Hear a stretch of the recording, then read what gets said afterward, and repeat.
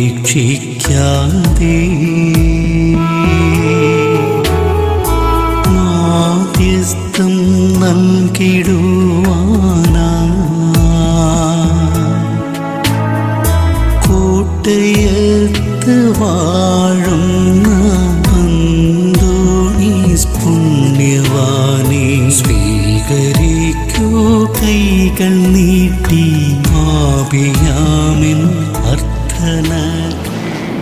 പ്രിയ ദൈവമക്കളെ ദൈവത്തിന്റെ കാര്യസ്ഥനാണ് ദൈവത്തിന്റെ പകരക്കാരനാണ് നീ എന്ന് കുഞ്ഞെ നിനക്ക് ചിന്തിക്കാനാകുന്നു ദൈവം അനേകരുടെ ജീവിതത്തിൽ ചെയ്യാൻ ആഗ്രഹിക്കുന്നതൊക്കെ എന്റെ ജീവിതത്തിലൂടെ ചെയ്യപ്പെടണം എന്ന ഒരു ധ്യാനം ഈ നോമ്പിന്റെ നാളുകളിൽ ലഭിക്കുന്നു.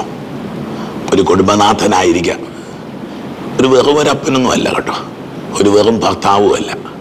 ദൈവത്തിന്റെ സ്ഥാനത്ത് നിൽക്കുന്ന ദൈവത്തിന്റെ കാര്യസ്ഥനായിട്ട് മാറാൻ ഒരമ്മ ഒരു ഭാര്യയൊക്കെ ഞാൻ ദൈവത്തിന്റെ അംബാസഡറാണ്. പൗലുസ്ലേ പറയുന്ന പോലെ ദൈവത്തിന്റെ അംബാസഡറാണ് എന്നൊക്കെ ചിന്തിക്കാനായിട്ടുള്ള ഒരു ഔന്നത്യം നോമ്പ് നൽകുന്നതാണ്.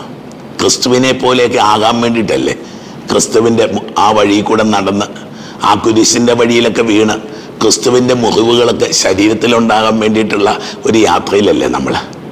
നോമ്പിന്റെ നാളുകൾ നാൽപ്പത് ദിവസങ്ങൾ ഈശോ നാൽപ്പത് ദിവസം ഉപവസിച്ചതുപോലെ ഉപവസിക്കണമെന്ന് ആഗ്രഹിച്ചുകൊണ്ടല്ലേ അത്രയൊന്നും പറ്റുന്നില്ലെങ്കിൽ നമ്മൾ ഈ യാത്ര ആരംഭിച്ചത്.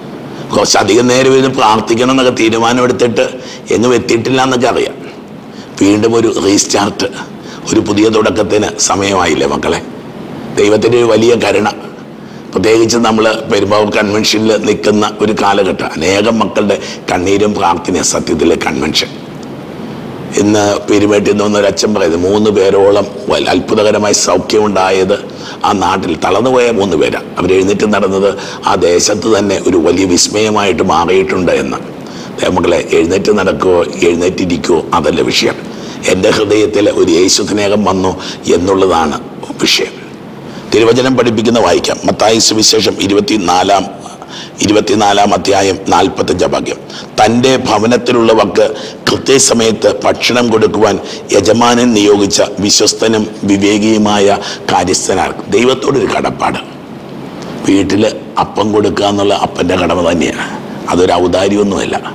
വചനം പറയുക അല്ലെങ്കിൽ ആത്മീയ ശുശ്രൂഷ ചെയ്യുക എന്നുള്ളത് എന്റെ ഔദാര്യമൊന്നുമല്ല. അതെന്റെ കടമയാണ് എന്റെ കടമയാണ്. ഔദാര്യമൊക്കെ ആകണമെങ്കിൽ കുറച്ചധികം മൈലുകൾ മുന്നോട്ട് ഓടാനുണ്ട്. ഓടേണ്ട ദൂരം മാത്രം ഓടി നിൽക്കുന്നവരാ പലപ്പോഴും നമ്മൾ ഈ ഓടുന്ന ഒരു ജീവിതമുണ്ടല്ലോ ദൗത്യത്തിന് വേണ്ടിയുള്ള ഓട്ടം. യജമാനൻ വരുമ്പോൾ അപ്രകാരം ചെയ്യുന്നതായി കാണപ്പെടുന്ന പ്രത്യൻ ഭാഗ്യവാൻ.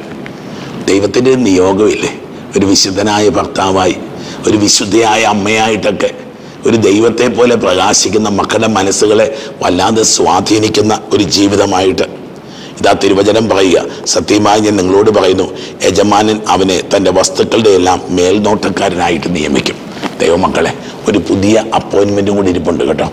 ഒരു ഉയർന്ന ഒരു സ്ഥാനക്കയറ്റം കൂടെ കർത്താവ് ഒരുക്കിയിട്ടുണ്ടെന്ന്. നിന്റെ ജീവിതത്തിന് അല്പം കൂടെ മഹത്വം തരാൻ അല്പം കൂടെ പ്രകാശം തരാൻ തമ്പുരാൻ ആഗ്രഹിക്കുന്നു. ദൈവമേ പൊന്നുമക്കളെ ആശീർവദിച്ച് പ്രാർത്ഥിക്കുന്നു. ദൈവമേ വലിയ നോമ്പിൽ നിന്റെ കൂടെ ഇരിക്കണമെന്ന് ആഗ്രഹിച്ചതാണ് നീ പ്രാർത്ഥിച്ചതുപോലെ പ്രാർത്ഥിക്കണമെന്ന് ആഗ്രഹിച്ച മക്കളാണ് അത്ഭുതകരമായ അഭിഷേകം. ഞാൻ കർത്താവിന്റെ സ്വന്തമാണെന്ന് കർത്താവിന്റെ പകരം നിൽക്കണമെന്ന് കർത്താവ് കൊടുക്കാൻ ആഗ്രഹിക്കുന്ന കൊടുക്കുന്ന വ്യക്തിയാകണമെന്ന് അങ്ങനെ ഓർമ്മിപ്പിക്കണമേ. കർത്താവ് വിശുദ്ധകരം നീട്ടണമേ. അത്ഭുതങ്ങളും അടയാളങ്ങളും രോഗശാന്തികളും വിടുതലുകളും ഉണ്ടാവട്ടെ. പിതാവിന്റെയും പുത്രന്റെയും പരിശുദ്ധാത്മാവിന്റെയും നാമത്തിൽ.